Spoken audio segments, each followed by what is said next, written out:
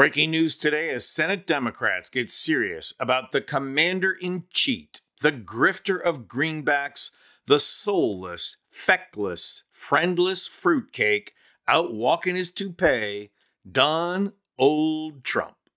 Specifically, the Democrats are pursuing an investigation into Trump abusing the power of the office of the president. I'm going to give you time to recover from that shocking news. Trump abusing the power of the president. But this time, before he even was the president.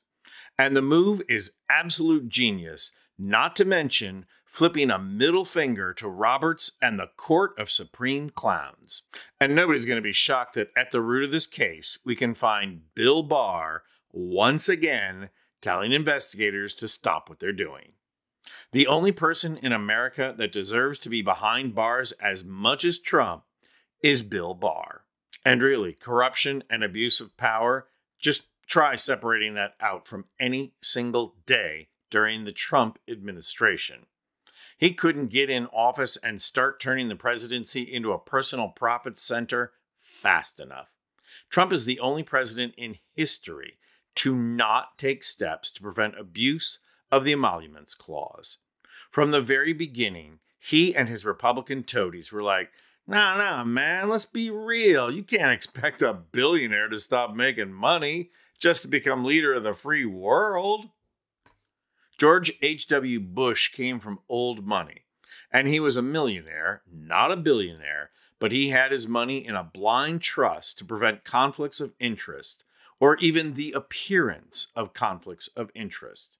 The expectation was Trump would do the same, not even remotely. The presidential transition team said it wouldn't be necessary, and the media, to no one's surprise, just let it go as another Trump being Trump, and he wasn't even president. And now Trump is selling 150 watches at $100,000 a pop. The Trump Victory Tourbillon. This isn't just any watch, it's one of the best watches made. It's a tourbillon watch with almost 200 grams of gold and more than 100 real diamonds.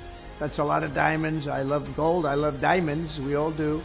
Only 147 of these extraordinary watches will ever exist in the world, and owning one puts you in a very exclusive club. I have watch number one, and I'm going to keep it. It's mine, and that's the way I want to have it. Want to know why? Because people can pay with crypto, and then the transactions are untraceable. That's $15 million right in the grifter's pocket. Sorry, Rudy, none of that money's going to you. Well, Senate Democrats have had enough. They are formally requesting that the Department of Justice reopen an investigation of whether members of Donald Trump's administration derailed a probe into an alleged transfer of $10 million to the former president when he first came into office. According to the Washington Post, at issue here was whether Trump accepted $10 million from the Egyptian president.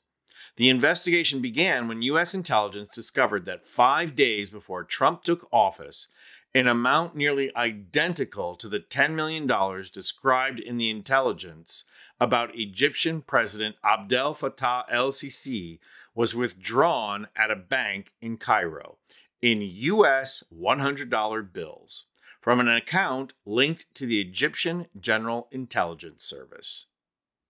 As a result, FBI agents began seeking Trump's bank records to see whether they could find evidence that the money had made its way to Trump.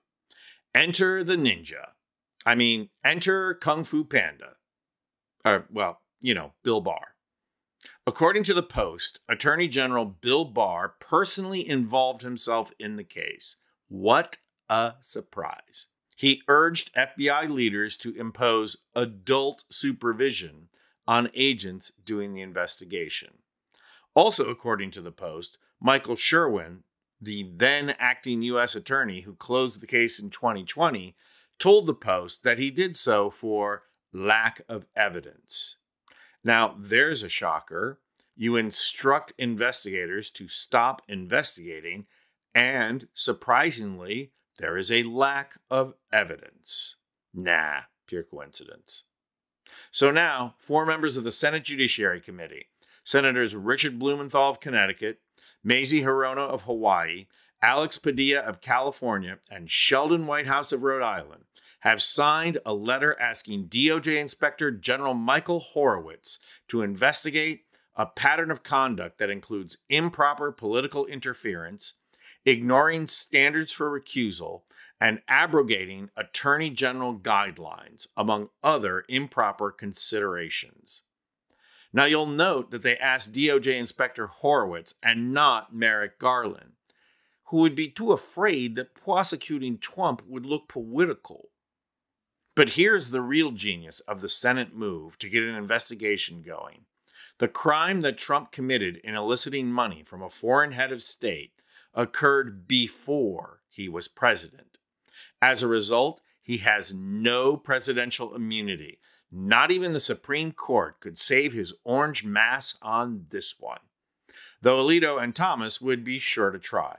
You can just see them twisting themselves into a pretzel, trying to extend immunity to presumed presidents, as is implied by the Constitution, the Magna Carta, and according to Alito, the nice and accurate prophecies of Agnes Nutter, witch. For this investigation to keep moving forward, though, Kamala Harris has to be elected. So vote blue and help make the blue tsunami in November. Everyone needs to do their part to make the recurring nightmare of the orange clown go away once and for all. I'm Anthony Vincent Gallo for Occupy Democrats.